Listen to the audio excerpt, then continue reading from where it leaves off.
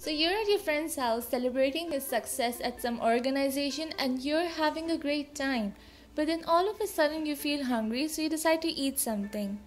You move to a corner and find a table full of yummy food, but the thing that catches your eye is a huge cake and you decide to get a piece of it. But then you realize you're not alone. There are a lot of people and they all want a fair share from that cake. So, is there a way of dividing that cake in such a manner that each individual is content with their share? Well, yes, and that's where Sperner's lemma comes in. It has proved the existence of an envy free division in a distribution of goods.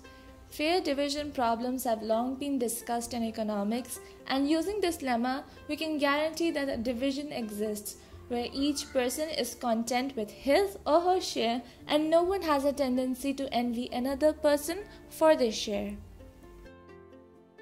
So, to understand the concept of Sperner's lemma, it is very important for us to understand three of its major components the theory lies on. This includes simplices, triangulations, and Sperner's colorings. So to start with, a simplex is a generalization of a triangle to any dimension. For example, as shown here, zero simplex is a point, a one simplex is a line segment, a two simplex is a triangle, a three simplex is a tetrahedron, and so on. So we can't fully represent the higher dimension of analogs within a 3D space, but we can still define them mathematically. In order to think about high dimensional simplices, we can note that a simplex or line segment also contains points. A simplex or triangle also contains line segment and points. Three simplex or tetrahedron contains triangles, line segment, and points. What do all of the simplices in one or higher dimension contains? Point and line segments, or in other words, vertices and edges.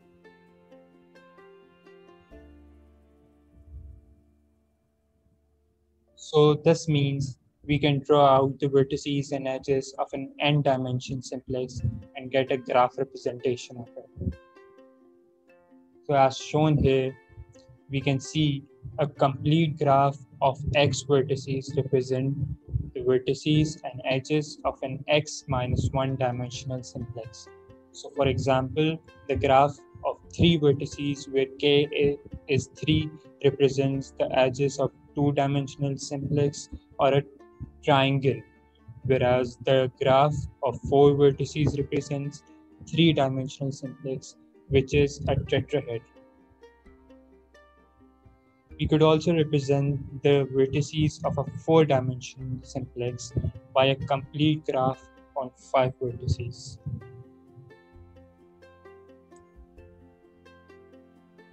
That's all from my side. Durr-e Sakina now we'll be talking about triangulations. Thank you. Next is triangulations. A triangulation of a shape means dividing a shape into triangles. Triangulations can be done on squares, triangles, and can even be extended to higher dimensions. Triangulating a 3D shape means splitting the shape into tetrahedrons. One requirement of triangulations is that each triangle in the triangulation either shares no vertices shares one vertex or shares a common edge with another triangle in the triangulation. Triangulating a line segment means splitting it into smaller line segments. Sperner's lemma states that every Sperner coloring of a triangulation of an n-dimensional simplex contains a cell colored with a complete set of colors. Sperner colorings have been used for effective computation of fixed points and in root finding algorithms, and are applied in fair division algorithms. A Sperner coloring can be constructed such that fully labeled simplices correspond to fixed points of a given function. By making a triangulation smaller and smaller, one can show that the limit of the fully labeled simplices is, is exactly the fixed point. So let's have a look at this example.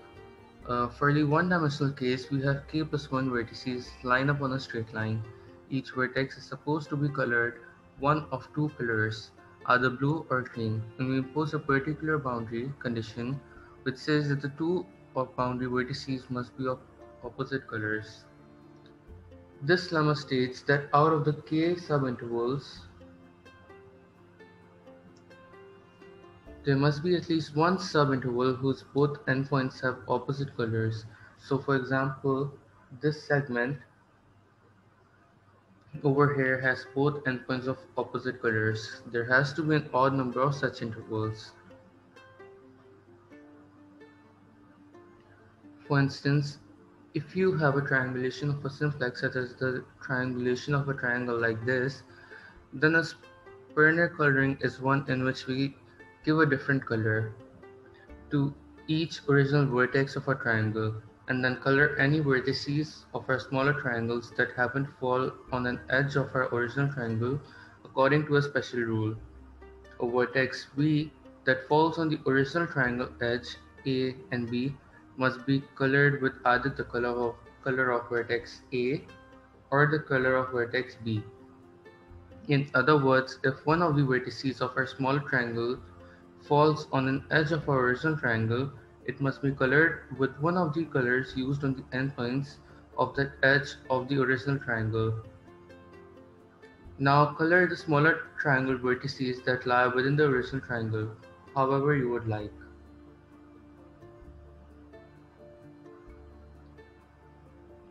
Explaining uh, how the Sperner's lemma, what Sperner's lemma actually is, and how it applies to different cases. Okay, so in a 1D case, uh, basically if we take a line segment and triangulate it, meaning we create different smaller line segments within the bigger segment, and then color the uh, endpoints with different colors, then Sperner's lemma states that there will be an odd number of color changes, and more specifically, the line segments uh, which we've divided the original line into will contain an odd number of line segments with uh, opposite end colors. So in the example picture on our right here, we can see that there's a total of uh, one, two, three, four, and five, five color changes in this example. So uh, just a quick like application, not application, but sort of more relative, relevant, which one which example which we're all familiar with, is that if you take an even number and you add an x amount of ones to it, then uh, and then we stop adding ones when we're at an odd number. Then the total number of uh, ones we will have added will be an odd number. Uh, so in 2d and higher cases if we take a 2d simplex triangulated and apply Sperner's colorings then within the bigger triangle there will be at least one triangle in which all vertices will have different colors. In uh, higher cases above 3d like such as 4d 5d as many uh, and and like however many you want. Uh, basically, there will be a simplex after triangulation, which will contain all edges of different colors. Okay, so now briefly we look at proof of Sperner's lemma using graphs. So on the right, we have an example of a 2D simple, uh, simplex, which has already been triangulated. And basically what's been done is that every single triangle has been given an edge and these edges have been connected based on uh, whether the two triangles, adjacent triangles, share uh, a multicolored edge. So, for example, the top two triangles we see, the they share a multicolored edge of green and red. So they are given an edge between their two respective vertices. And uh, for another example, this uh, the top most triangle, subtriangle, and the one to the immediate left of it, they do not share an edge between their vertices as they're both red.